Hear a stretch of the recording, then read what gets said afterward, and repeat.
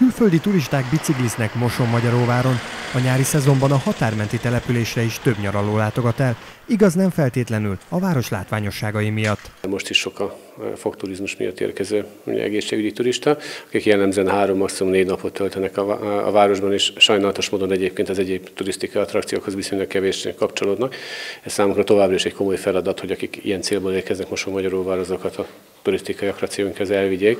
Pető Péter azt is elmondta, hogy a jövőben több nyári rendezvényt szeretnének a városba hozni, ezzel is tovább növelve a vendégészakák számát. Vendégek érkeznek az egyik Moson Magyaróvári hotelba. Horváth Karolin kedélyesen beszélget velük.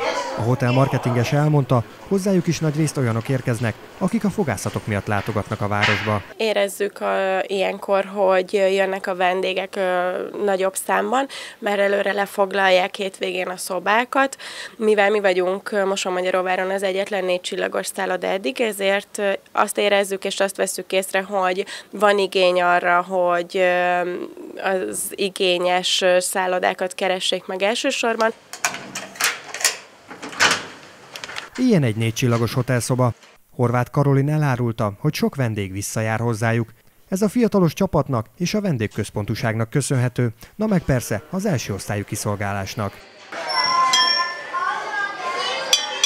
Gyerekek zenélnek üvegeken a Futura látogató központban Moson-Magyaróváron. A rendkívül népszerű interaktív központba az ország minden tájáról érkeznek turisták. Nagyon szép látogatószámmal büszkélkedhetünk.